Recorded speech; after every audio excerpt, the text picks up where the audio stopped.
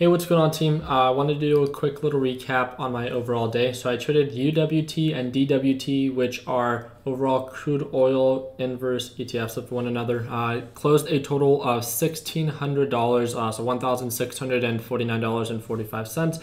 Uh, these were my total orders. So I took my first trade at 7.03 a.m. as you guys can see here. And then I took my last trade here at 9.09 uh, a.m. And again, that's Pacific Standard Time for all those that are in the Arizona area. So I wanted to do a quick little explanation on exactly why I have such a huge focus trading ETFs and ETNs such as DWT, UGAZ, UWT, and DGAZ. Hope you guys enjoy. All right, what's going on team? My name is Ricky. I'm 24 years old. I'm based here in the Arizona area, and I wanted to do a quick little explanation on why I have such a huge focus trading ETFs. If you're familiar with my YouTube channel, I run the largest YouTube channel for those who day trade in the stock market. I have a little bit over 615,000 subscribers, and I day trade every single day with the Learn Plan Profit Group. They get to watch me trade live every day, and uh, there's no question that if you've seen me trade for like the, really the past two years, uh, I have a huge, huge focus on ETFs, and I wanted to make a simple video explaining why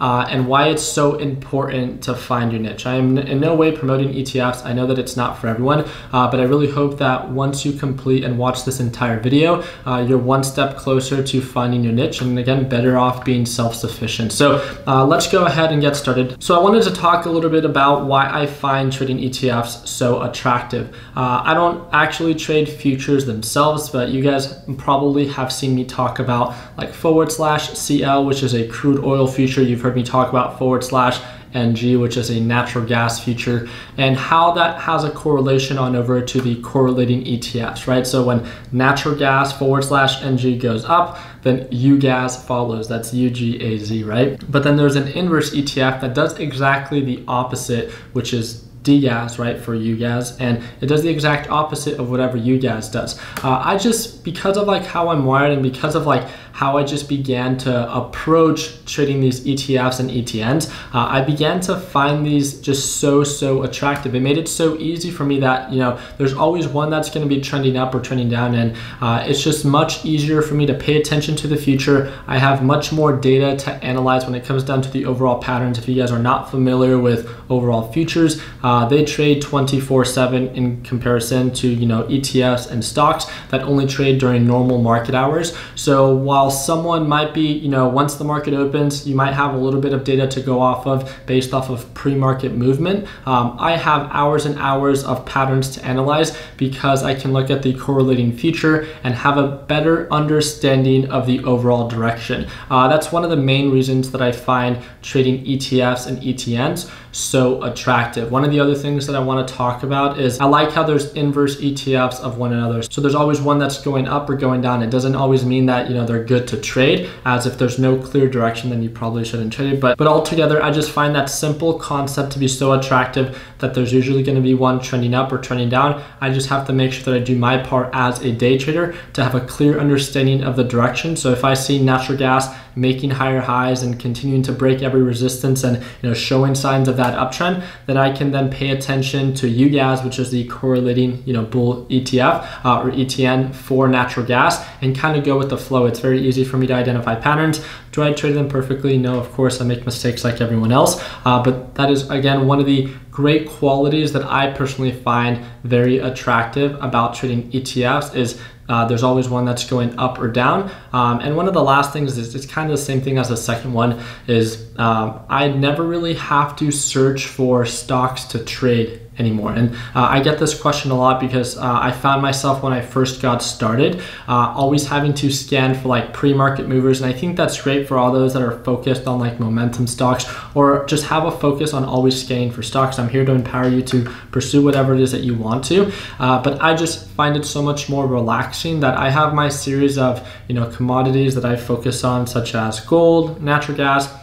the overall market with forward slash NQ, which is the NASDAQ future, S&P 500 future, uh, and crude oil future, right? And then I have my little niche that I have my little list of ETFs. I have my little list of you know futures And that's all I pay attention to. There's usually enough activity within those ETFs and, and futures themselves that I don't have to go and search for, you know, anything else. And I'm someone that's huge on simplicity, right? The market is super, super overwhelming with so many different options. And it's just one of the things that I find very attractive about, you know, when I built my list of ETFs and when I built my list of commodities and futures that I wanted to focus on, they're just personally the ones that I see value in. Do I think that they're the best? Uh, no. Do I think that they're for everyone? Of course not, right? It's just uh, we have a lot of people that are solely focused on just gold, right? We have a lot of people that won't touch gold and only trade crude oil. Uh, we have a lot of people that focus on trading natural gas and that's all they pay attention to. Uh, I think the beautiful part about trading in the stock market is not about trying to copy everyone else, uh, but it's trying to keep it as simple as possible because I think that we can all agree that there's already so much going on in this market that if we can keep our focus where we see the most value and the most consistent patterns, the more experience you build uh, trading that specific niche, uh, the less overwhelming it can be. The market's always changing, especially with current market conditions. Uh, the volatility is more present. Uh, so then we have to, again, refine our approach but the overall concept of you know not having to worry to have to scan for other stocks um, is no longer there, right? Because we have our list, we have our focus, and it's cool to see other people excel in you know other areas where they're trading options, where they're trading penny stocks, where they're OTC, you know, momentum stocks.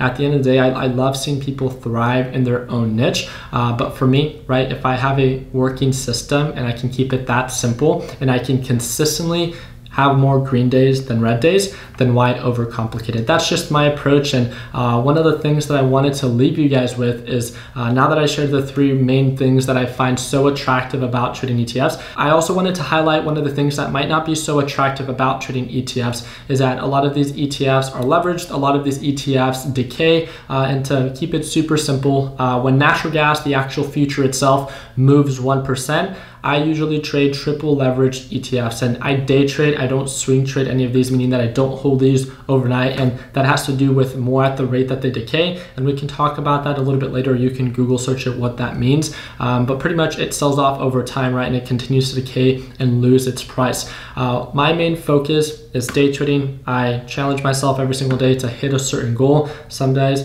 most days I hit it, some days I don't, but it's all about that risk management. Uh, but the reason that I find the triple leveraged ETFs to be very attractive is when natural gas, the actual future itself, moves 1%, then the correlating ETFs, because they're triple leverage, move 3%. So because, again, I do like the volatility, I do like those larger movements, um, it's really nice to be able to see that, you know, I don't just have to wait for 1% movements and trade the actual future itself. I can trade the leverage-based ETFs because I'm a day trader and I'm okay with being in and out. Yes, it's a little bit more risky, but I accept that risk. And again, it kind of comes with the territory where it's higher risk, higher reward. Um, and again, there's a bunch of different areas in the market that kind of offer that variety. So I find the triple leverage ETFs to be a really good mix for me. Uh, yes, I do find it to be risky from time to time when the volatility is present, and that's usually when I'll step away. But if I see there to be a clear direction, if I see there to be an attractive margin of profit for potential recovery, or something is actively trending up, then I try to keep it as simple as possible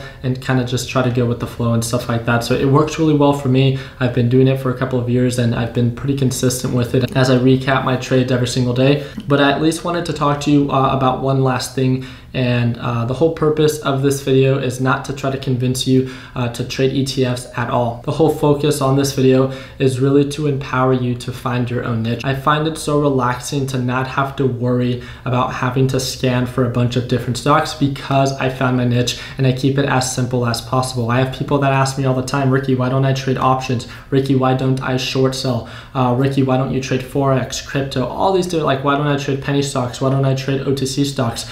Um, what I'm here to remind you to do is like, you know, if you're a complete beginner, right? Uh, I'm not here to empower you to only pursue ETFs. I think that would be very closed minded of me if I were to be like, hey, ETFs are the only way to go because that's what I'm successful in. We all have to understand that we're all wired in different ways and there's multiple different approaches to still end up getting the same result. So if you're new to the market and you're still struggling to identify your niche within the market, I would say being niche down is a very attractive quality that makes trading just that much more simple. So if you see value in that, uh, one of the tips that I want to give you that I think that can also assist you in kind of identifying and exploring different options is there's a thing called simulation paper trading, right? Which is pretty much that you trade with fake money. As you're learning to trade, I think your sole focus should be then learning to trade, not to make a profit. So as you're learning to trade, I would explore all these different options. You're gonna see so many videos of people talking about, you know, why options are so amazing. In my opinion,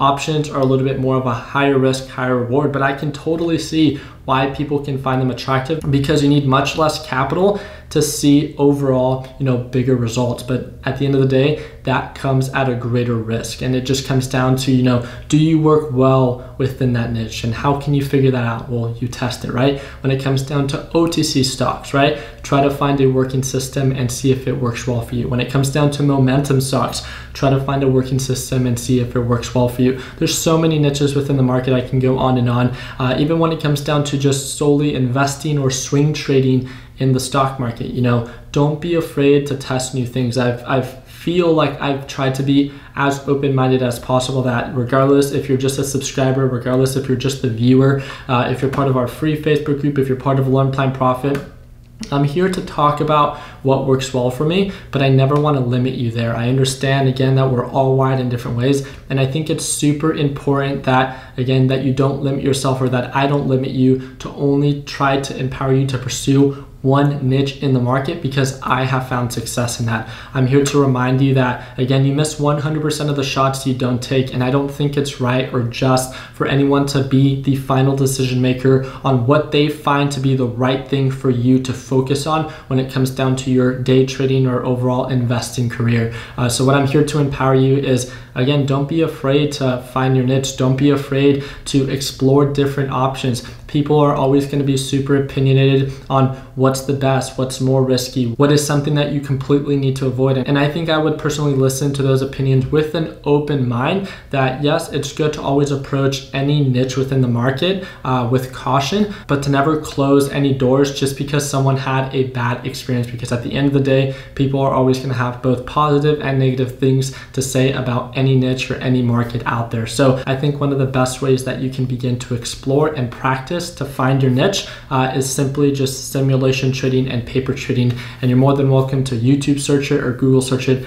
as I have the number one video on YouTube when it comes down to talking about paper trading and how you can actually get started for free as again you're learning to trade. So I really do appreciate your guys' time. I wanted to simply share um, a little bit more about my story on why I see value in ETFs, the three reasons or the three things that I find so attractive about them, and also list, you know, maybe what's not so attractive about ETFs, uh, but to simply empower you to not be afraid to find your niche within the market. And that again, you miss 100% of the shots that you don't take. So why limit yourself? So if you guys have any questions whatsoever about getting started, or if you think that I can be of assistance for you, I'm gonna go ahead, I'm gonna put my number down below. Feel free to send me a text if you guys have any questions, or feel free to join our free Facebook group. We have a little bit over 225,000 members. We'd love to have you as a part of our trading team. And again, that's gonna be that first link below. I really do appreciate you guys' time. I wish you guys an amazing rest of the year. Like always, continue working hard, continue following dreams, let your passion be what drives your success. I really hope that it earned your thumbs up with this video. And like always, let's make sure that we end the year on a green note. Take it easy, team.